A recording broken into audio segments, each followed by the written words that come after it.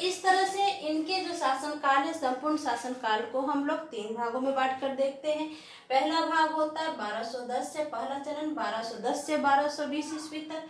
द्वितीय चरण होता है 1220 से बारह ईस्वी तक और तीसरा चरण होता है बारह से बारह ईस्वी तक। 1210 से 1220 में विरोधियों का दमन किया जाता है और इस समय जो इनके विरोधी होते हैं, वह होते हैं, पहले जो विरोधी होते हैं, गजनी शासक यालदूज। गजनी शासक यालदूज जो है, इनके प्रथम विरोधी होते हैं। गजनी शासक यालदूज के साथ इनका यालदूज जो है, दिल्ली सल्तनत और सिंध प्रांत पर अपना अधिकार करना चाहते हैं। और इस तरह से हम देखते हैं कि जो इनके प्रबल शत्रु माने जाते थे उनके साथ 1215 से 1216 ईस्वी में युद्ध होता है और इस तरह से यालदूज से यह अपने आप को यालदूज को युद्ध में पराजित करते हैं और यालदूज पर अपना विजय प्राप्त करते हैं और इस तरह से ये अपने अपने आप को सुरक्षित कर पाते दूसरा शासन, दूसरा जो विरोधी होते हैं, सिंध व मुल्तान क्षेत्र में इस समय कुबाचा का अधिकार होता है। कुबाचा जो मोहम्मद गौरी के टाइम्स के समय से ही इस क्षेत्र पर अधिकार किए हुए थे, जो थे सिंध व मुल्तान के शासक कुवाचा और इनके साथ 1217 ईस्वी में 1217 ईस्वी में ये सिंध और मुल्तान पर अधिकार करने के लिए जाते हैं। और 1217 ईस्वी में देखते हैं कि कुवाचा का भारतीय क्षेत्र पर नियंत्रण स्थापित करने का प्रयास किया जाता है। और उस कुबाचा के बढ़ते प्रभाव को रोकने के लिए ये अपने पुत्र नासिरुद्दीन महमूद को भेजते हैं। और कुछ समय के लिए हम देखते हैं कि नासिरुद्दीन महमूद सिंध व मुल्तान क्षेत्र पर विजय प्राप्त कर अपना अधिकार स्थापित करने में सफल हो पाता है। तो इस तरह से हम देख रहे हैं कि इनका जो प्रथम चरण है, शासन का जो प्रथम चरण है, वह अपने विरोधियों, जो प्रबल शत्रु थे, उसके दमन करने में बीतता है। दूसरा इनका शासन काल होता है 1220 से बारह ईस्वी। यह मंगोल आक्रमण से सुरक्षा को लेकर जाना जाता है और इसी में हम देखते हैं कि 1221 ईस्वी में चंगेज खान जो प्रमुख मंगोल आक्रमणकारी थे, वो वो मंगबरनी जो मंगबरनी एक शासक थे, उनका पीछा करते हुए यह सिंध के क्षेत्र तरफ़ आते हैं। चंगेज खान मंगबरनी का पीछा करते हुए मंगबरनी का पीछा करते हुए सिंध तक आते हैं। सिंध तक आते हैं। और और कहा ऐसा और कहा जाता है कि मंगबरनी, चंगेज खान से अपनी रक्षा के लिए इल्तुतमिश से मदद की याचना किए थे। लेकिन इस समय इल्तुतमिश ने बहुत ही कूटनीति का परिचय दिया और उसने मंगमरनी की कोई सहायता सहायता ही नहीं की और इससे प्रसन्न होकर चंगेज खान जो है भारतीय क्षेत्र में प्रवेश नहीं कर पाए। तो इस तरह से हम देख रहे हैं कि मंगबरनी के द्वारा जो इनका जो सहायता न करना वह राजनीतिक दृष्टिकोण से बिल्कुल सही था और इनके साम्राज्य को स्थापित करने के दृष्टिकोण से भी बिल्कुल सही था। तो इस तरह से हम देखते हैं कि दिल्ली को इन्होंने चंगेज खां जैसे मंगोल आक्रमण की चंगेज खां जो है, जो मंगोल आक्रमणकारी है, उससे दिल्ली को ये सुरक्षित किया। इसके अलावा इन्होंने कुछ अभियान किया, जैसे 1224 से 1226 ईस्वी में बंगाल पर अभियान किया। बंगाल में हम देखते हैं कि मोहम्मद गौरी के समय अली मर्दान शासक होते हैं। अली मर्दान के बाद उसके उत्तराधिकारियों में से शासन करते किया जाता है और इस समय जो शासक होते हैं, एवज होते हैं। जो बंगाल के, बंगाल का उड़ीसा का जो क्षेत्र होता है, इस समय शासक होते हैं। बंगाल अभियान गयासुद्दीन एवज गयासुद्दीन एवज होते हैं। उनको ये पराजित करते हैं और बंगाल को अपने साम्राज्य में मिला देते हैं।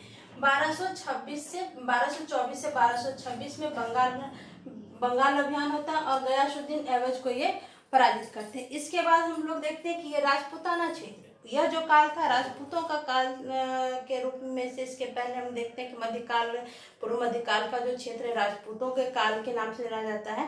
तो राजपूत कहीं ना कहीं इनके लिए संकट हो सकते थे इसलिए ये राजपूतों के, के जितने भी साम्राज्य हैं उस पर विजय प्राप्त करना शुरू करते हैं।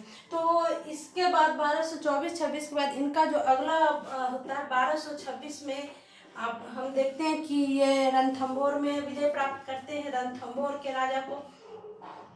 रणथम्बोर के राजा को पराजित करते हैं।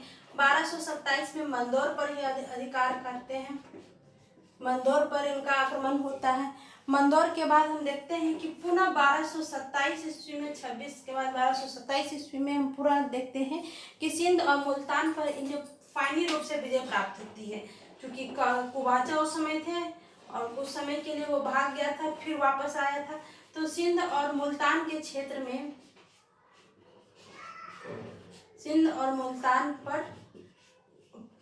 पूर्ण अधिकार इनका होता है सिंध और मुल्तान पर इनका विजय प्राप्त होता है। तो ये जो है पर द्वितीय चरण मंगोल आक्रमण से सुरक्षा और साम्राज्य विस्तार के रूप में, अन्य समस्याओं के निदान के रूप में जाना जाता है।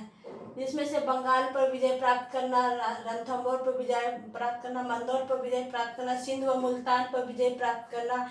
इसके अलावा हम देखते हैं कि दोआब का जो क्षेत्र होता है, उस पर भी विजय प्राप्त करने की शुरुआत इसी समय हो जाती है। तृतीय चरण तृतीय चरण होता है बारह से बारह ईस्वी। इस चरण में प्रशासनिक सुधार और सत्ता को सुदृढ़ करने का प्रयास किया जाता है। तो प्रशासनिक सुधार के रूप में सबसे जो पहला सुधार हम लोग देखते हैं कि पहले तो सुल्तान पद की प्राप्ति इनका करना, बारह सौ उनतीस ईस्वी में सुल्तान घोषित करना, यह एक प्रमुख काम देख सकते हैं। जो इसी काल में हो जाता है, सुल्तान घोषित होना। बारह सौ उनतीस ईस्वी में करते हैं। इसके अलावा हम देखते हैं कि इस काल में भी कुछ विजय अभियान करते हैं। बारह सौ इकतीस ईस्वी में उज्जैन उज्जैन एवं ग्वालियर पर अधिकार करते हैं। ग्वालियर विजय होता है बारह सौ इकतीस ईस्वी में। इसी समय देखते हैं कि कालिंजर पर भी इन, इनका अभियान होता है। कालिंजर विजय भी किया जाता है इनके द्वारा। तो यह कुछ विजय के रूप में भी सत्ता सुदृढ़ीकरण के लिए इन्होंने कुछ विजय को भी करना शुरू किया। तो 1200 इसके बाद चौतीस में, बारह सौ चौतीस, पैंतीस ईस्वी में इन्होंने मालवा पर अधिकार किया। मालवा पर अधिकार किया। फिर इसी समय हम देखते हैं कि जो अवध का क्षेत्र है उन सब क्षेत्रों पर भी विजय प्राप्त करने का अवध प्रांत पर भी विजय प्राप्त की गई। अवध प्रांत पर भी विजय प्राप्त करने प्राप्त किया गया। इसके अलावा हम आपको बता दो कि इसी समय अवध में पृथु का विद्रोह होता है। पृथु जो उस समय वहाँ के शासक होते हैं पृथु के नेतृत्व में विद्रोह होता है, जो पृथु का विद्रोह के नाम से भी इतिहास में जाना जाता है, अवध के क्षेत्र में। तो यह एक प्रशासन सत्ता को सुदृढ़ करने के लिए कुछ प्रयास इनके द्वारा किए जा रहे थे। इसके अलावा कुछ प्रशासनिक सुधार भी इनके द्वारा किया गया। जो मैं प्रशासनिक सुधार आपको मैं इधर बता देती हूँ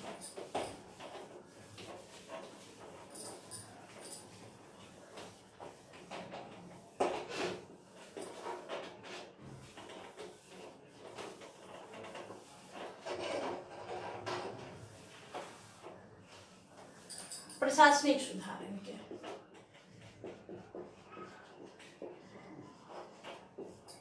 प्रशासनिक सुधार। प्रशासनिक सुधार में आता है इनका। तुर्कान ए चिलगानी तुर्कान ए चिल चिहलगानी तुर्कान ए चिहल गानी ये चालीस जो तुर्क दास थे, उसका एक समूह था। ये चालीस तुर्क दासों का एक गुट बनाया गया था। गुलाम सरदारों का गुट था। और इनकी मदद से ये, इनकी मदद से ये शासन व्यवस्था को चला रहे थे। प्रशासनिक सुधार के रूप में हम देखते हैं कि पहला काम इन्होंने तुर्कान चिलगामी का का गठन किया।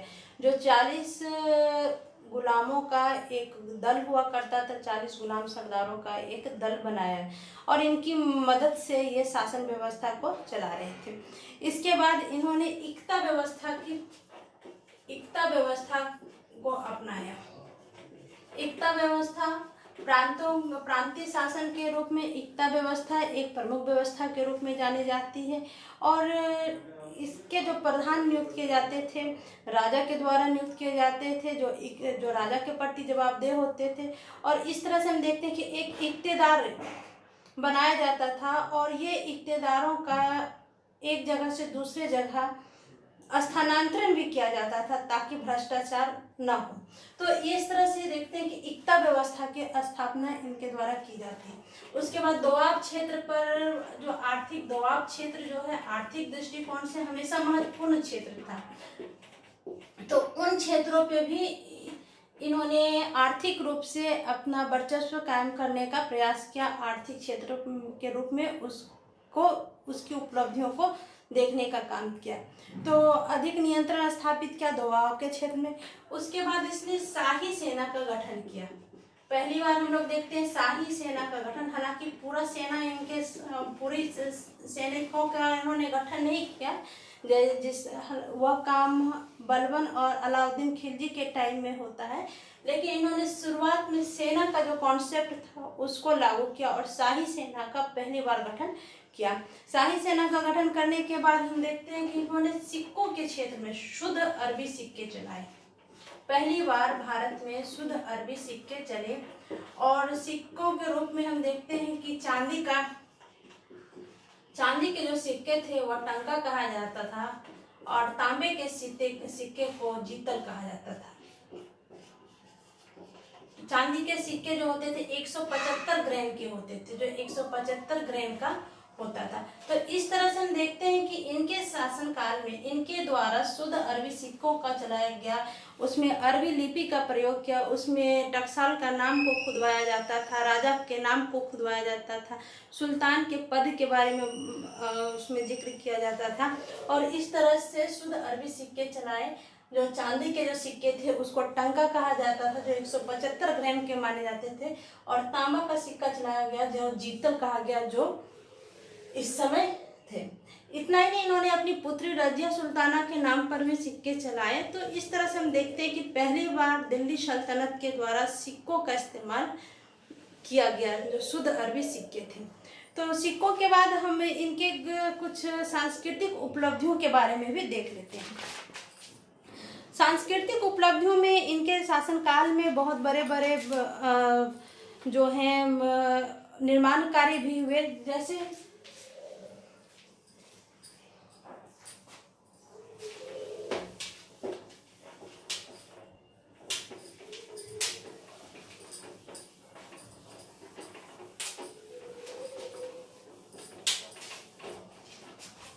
जैसे सांस्कृतिक उपलब्धियाँ अब बात करते हैं। सांस्कृतिक उपलब्धि।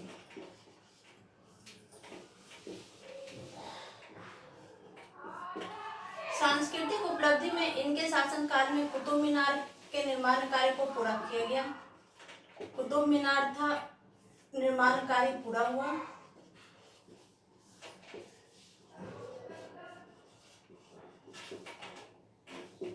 पहली उपलब्धि ये है इन्होंने अपने पुत्र जो नासिरुद्दीन महमूद थे, जिनकी इनके जीवित काल में ही मृत्यु हो जाती है, और उनका इन्होंने सुल्तानगढ़ी में कब्र बनवाया, जो सुल्तानगढ़ी के कब्र के नाम से जाना जाता है सुल्तानगढ़ी का मकबरा।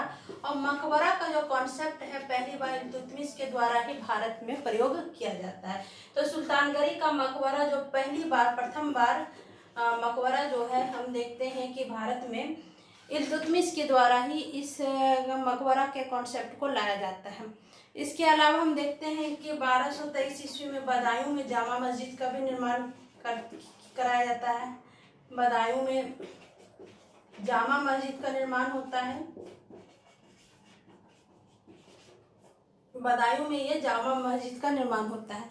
इतना ही नहीं, इनका जो शासनकाल है, प्रमुख जो है चिंतकों, लेखकों से भी सुशोभित रहा है, जिनमें मिनहाज उज सिराज सिराज और मलिक ताजुद्दीन जो प्रमुख विद्वान हैं, उनको भी इन्होंने संरक्षण प्रदान किया। इनके शासनकाल में जो कुछ विद्वान ऐसे थे, जैसे जुनेद, जिनको इन्होंने अपना सेनापति, अपना शासन का प्रमुख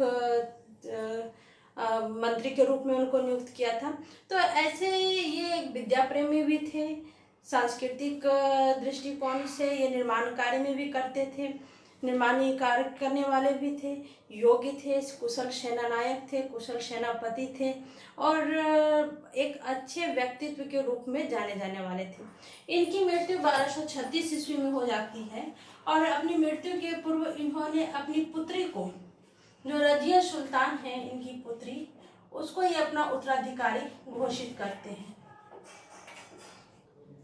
हालाँकि इस चीज़ पे विवाद है इतिहासकारों में कि वो जीवित में घोषित करते अपने उत्तराधिकारी रजा सुल्तान को मानते हैं नहीं। लेकिन एक परंपरा जो है, वंशवादी परंपरा, उसका भी हम यहाँ पर सम्मिश्रण देखते हैं। तो इस तरह से इन्होंने जो एक वंश जो स्थापित की थी, जो शमसी वंश कहलाया आगे चलकर, शमसी वंश कहलाया, शमसुद्दीन कितुबुद्दीन के नाम पर, यह वंश शमसी वंश कहलाया।